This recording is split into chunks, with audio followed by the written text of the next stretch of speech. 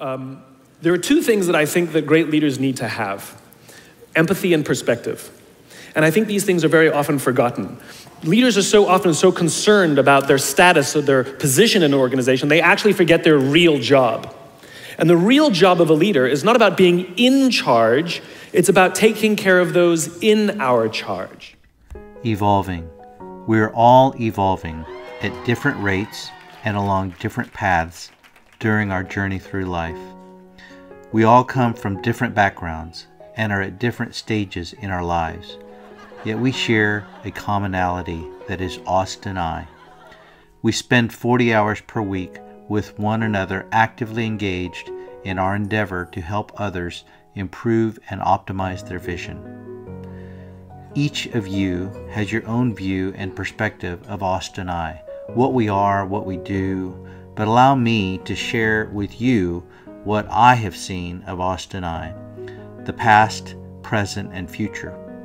Our story is really a story of evolution, personally and professionally. It is my hope that your story and your evolution in life will be positively affected by ours. Where to begin? Let's start with July 1st, 1969, when Mitchell Wong opened the practice. Remember 1969? Richard Nixon was president, and Austin had a population of 244,000. At that time, there were four ophthalmologists in Austin. 3B Medical Arts Square was the location where he started his first practice. Mitchell Wong was in solo practice for three years at this location, then moved to a building that he constructed at 1009 East 40th Street in 1972. My grandfather, Fred Wong, Mitchell's dad, was the general contractor. It has been said by my mother, Rose, that he has an emotional attachment to the office at 40th Street. I'm not sure exactly why, but perhaps because his dad helped construct it. I remember visiting 40th Street with my dad, seeing patients for emergencies on weekends just to keep him company in the 1970s. Interestingly, to teach me a good work ethic, he would have me clean the parking lot while he saw patients inside the building. From 1972 to 1993, my dad had a few associate ophthalmologists that worked at Austin Eye, but he was mainly a solo ophthalmologist for the first 24 years of his career. My mom, Rose worked side by side with my dad, initially part time in 1972 until she became more full time as me and my brothers grew older.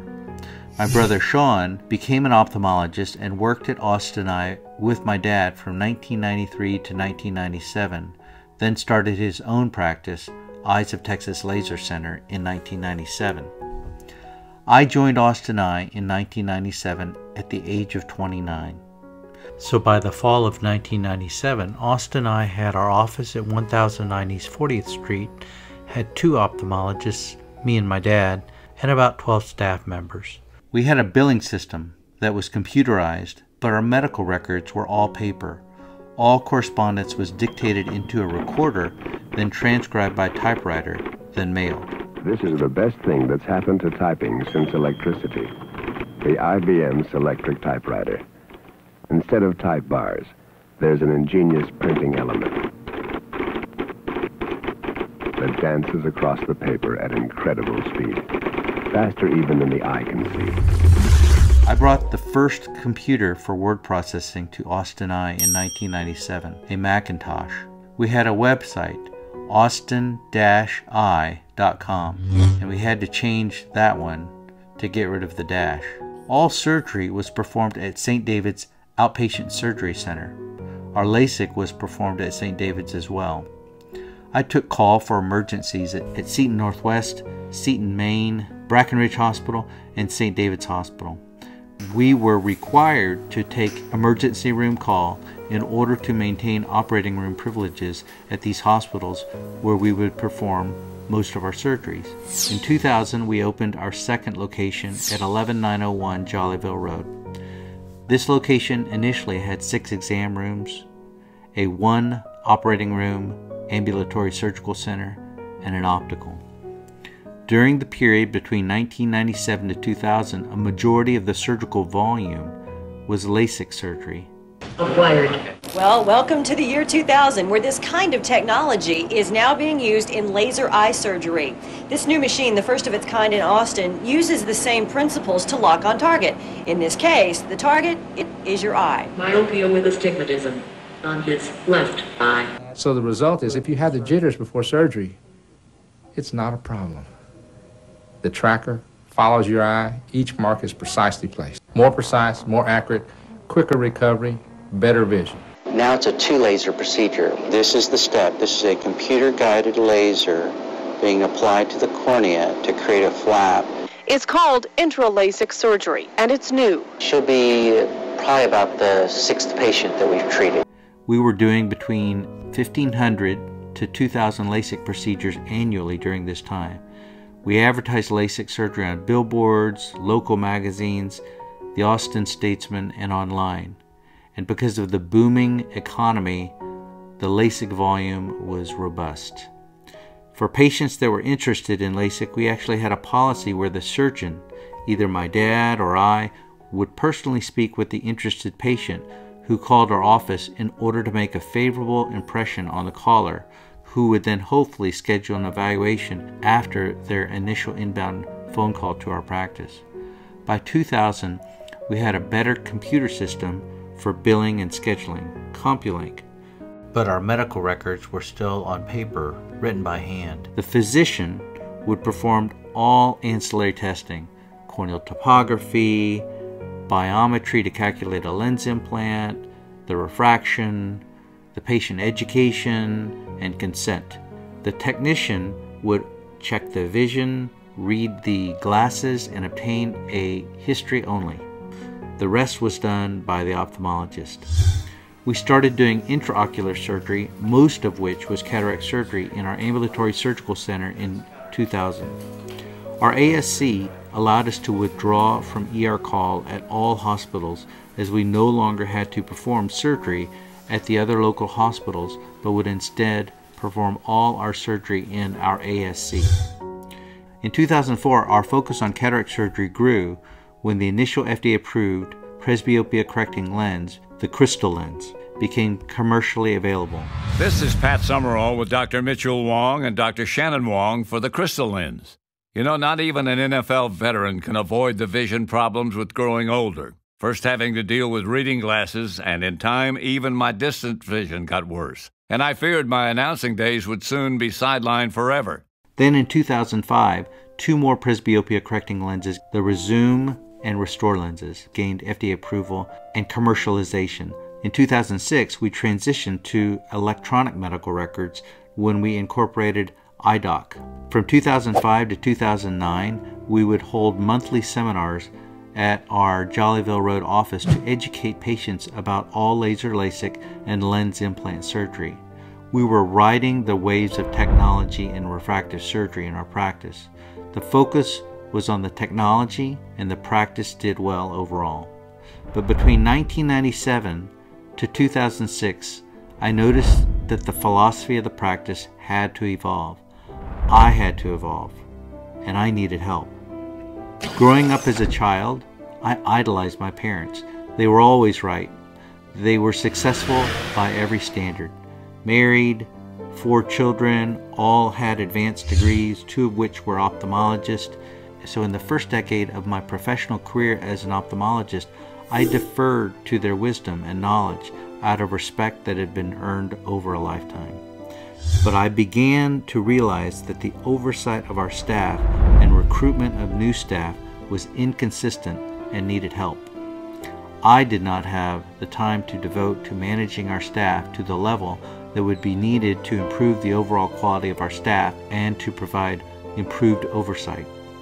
So I asked Betty to help Rose in the office with human resources.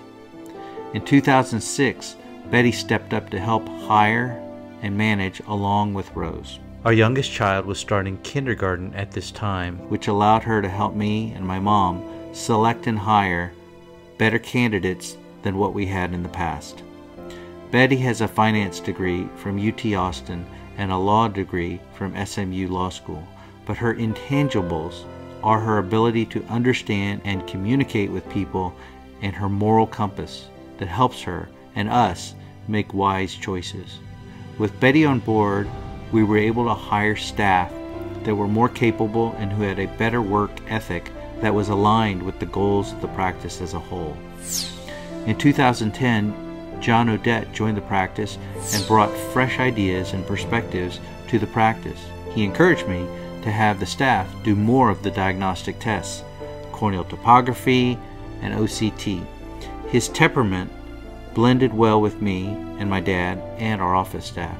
Above all, he was highly motivated and talented and wanted to grow his practice, which in turn motivated me to improve the practice as much as possible. In 2012, we acquired the first femtosecond laser for cataract surgery in Austin. This acquisition and the marketing campaign behind it forced us to change our practice in ways that we never before imagined. In order to make the laser economically sustainable, we had to market it. From 1997 and 2012, our marketing efforts were largely created from our own ideas and efforts. They were homegrown. Generations Of Austin Eye families. We've treated generation of Austin families for six decades. When it comes to caring, personal, state-of-the-art care for you and your vision, Austin Eye is here for you. If you've been considering vision correction surgery, such as the all laser eye LASIK, or surgery to help aging eyes see younger and clearer, the technology has never been better. But in order to make the transition to laser cataract surgery, I knew we needed professional help. So we retained the help of Mike Malley to help us create a TV campaign to promote laser cataract surgery.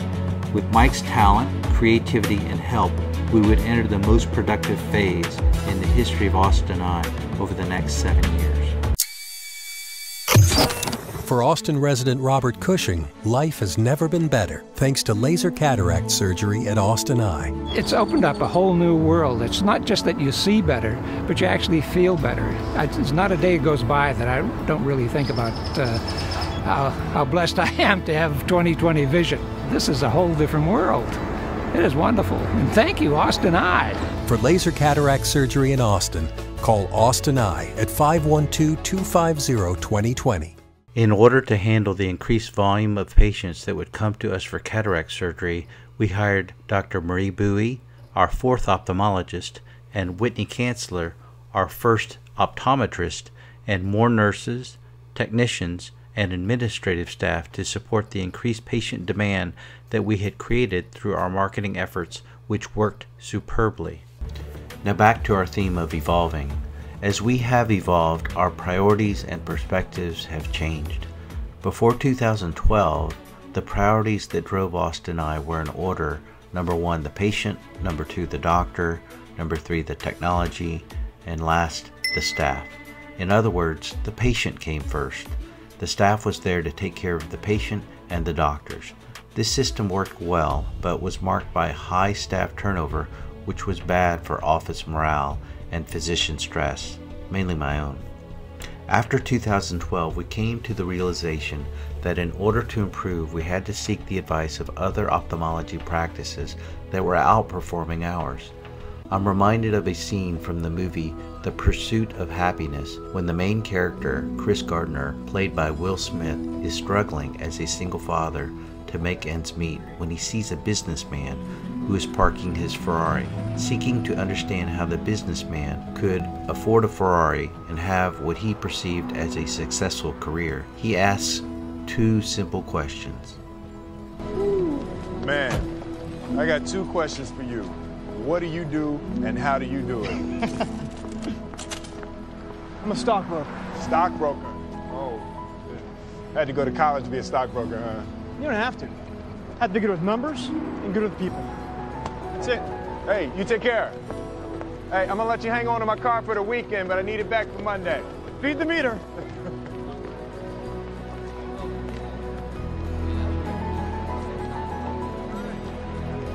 I still remember that moment. They all looked so damn happy to me.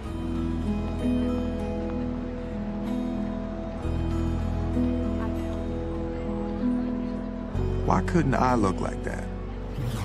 The teachable moment was in order to improve, we had to understand how other ophthalmology practices were able to outperform ours.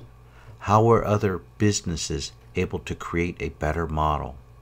Over the past decade, we've evolved in our priorities at Austin Eye. This evolution has been slow but deliberate. By reaching out and visiting other ophthalmology practices, Dr. Who's practice in the Dallas Fort Worth area, the Eye Guys in Augusta, Georgia, Key Whitman in Dallas, Sam Masket's practice in Beverly Hills, and Vance Thompson Vision in South Dakota, and listening to other visionary leaders such as Simon Sinek, Bill McRaven, Ray Dalio, Bob Iger, and Steve Jobs, we have come to realize that to fully realize the success that Austin Eye can become, we need to reorient our priorities. The priorities now are number one, the staff, number two, the patient, number three, the doctor, and number four, the technology. Where we used to prioritize technology and the experience of the surgeons, we realize that if we can empower and educate our staff and give them a great environment to work in that is supportive, caring, and which compensates them well, then the staff will be fulfilled by the work that they do and the relationships that they have with their work family. If the staff is fulfilled by the work that they do, then they will take great care of our patients who will have a great experience at Austin Eye, and then the doctors will be able to more efficiently and effectively perform their job. The staff is the most valuable asset at Austin Eye. Our goal is to do meaningful work that helps humanity helps our community improve their vision using the best technology that is offered by the best eye care team of ophthalmologists, optometrists, administrative staff, technicians, and nurses. What you do at Austin Eye on a daily basis is important in helping to improve the vision of those in our community. It has been said that if one person can change a room, then that room can change a community and a community can change the world. Our goal is to create a great work culture that we can all learn and grow from on a daily basis. From that work culture, we will be motivated to provide outstanding care and customer service for our patients and our customers who will have a great experience with our practice. Our evolution has allowed us to improve Austin Eye by every measurable metric over the past decade staff compensation, staff benefits, staff appreciation, continuing education, annual practice revenue, cataract surgery volume, premium cataract surgery volume. And as we grow, we want to continually improve the culture of Austin Eye. You all have options as to where you work and what you do. Our goal is to incentivize you to grow and stay at Austin Eye as long as you feel that you're being taken care of by us and that you're doing work that is fulfilling and meaningful. We want to always be introspective and objective about what we do and how we operate and grow Austin Eye. Success is not a destination, it is a journey, and we will continue to make adjustments as needed to make Austin Eye a place that you're incentivized to stay at and grow at as we continue to grow. So, what does the future hold? Where will we be in five years? Most likely, We'll be doing more cataract and premium lens implant surgery, and we will definitely need more staff to make that possible. In the year 2020, we will move one of our offices at 40th Street to our new location in Westlake. We want our Westlake office to be a showpiece, an example of what is possible if you practice medicine and operate a business the way we do. We want our entire office to be an example that others will see and have their eyes and minds open to what is possible. Patients should have the best experience and outcomes. Doctors, industry, medical students, and ophthalmologists in training should see and feel how we are embodying excellence. We want our staff to reflect excellence. We want our physical facilities to be first rate. The ASC will move from our northwest location to Westlake there will be more space and three operating rooms. The themes that we have instructed the architects to incorporate into the new building are high tech, modern, and contemporary. Over the next five years, the Austin Eye that I envision is two locations, two to three optometrists, increased surgical volume with premium lens adoption in particular. And Austin Eye will be a model practice that others will strive to emulate. Our staff will certainly grow. As we grow, we will continue to evolve and improve in all aspects of our business and our culture. There's a saying, you're only limited by your imagination and your willingness to make your imagination a reality. You only live once. We will do our very best to make your experience with our family at Austin Eye meaningful, fulfilling, and impactful. Thank you very much.